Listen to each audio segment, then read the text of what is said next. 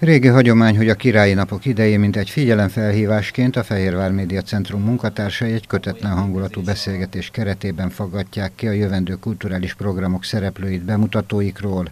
Nem volt ez másként az idén sem, ezúttal Novák Rita és Somos Zoltán kérdéseire avatták be az érdeklődőket a műsorok kulisszatitkaiba. Nagyon szereti a Fehérvár Média Centrum csapata is a királyi napokat, hiszen ilyenkor zajlik az élet a szerkesztőségben is, és évek óta aktív részesei vagyunk mi is a programoknak, hiszen a kollégák számtalan programról élőben tudósítanak, és ami pedig nem élőben történik, arról később utólag számolunk be, tehát mindenképpen a kamerák és a szerkesztők a helyszínen vannak, és most pedig az Art Café egy olyan produkció, ami szintén itt a belvárosi forgatagból jelentkezik, nagyon sok kulisszatitok adatokkal készülünk, és hát nyilvánvalóan, hogy a következő napokban még mi minden várható itt a városban, az derül ki a műsorból. Az Art Café vendégeként Cserpakovics András polgármester és a különböző programok házigazdái széleskörű tájékoztatást adtak az ünnepség sorozat további programjairól, illetve szóltak arról is, miként áll össze egy, egy olyan műsor, amely országszerte felkelti a kultúra kedvelők figyelmét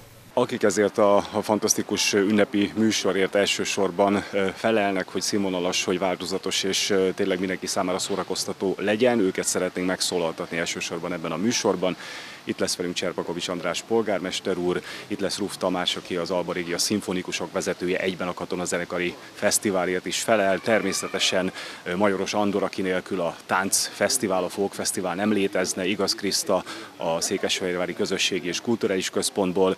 Meghívtuk Varga Gabrielát, a Vörösmarty Színház művésznőjét, aki majd harmadik András anyját alakítja a fantasztikusnak ígérkező koronázási szertartási játékokon, és itt lesz Nagy Judit, hiszen a Szabad Színház az ő vezetésével szintén egy bemutatóval készül az ünnepre. Az Art Café adását ma 20 óra 15 perckor láthatják a Fehérvár televízió nézői.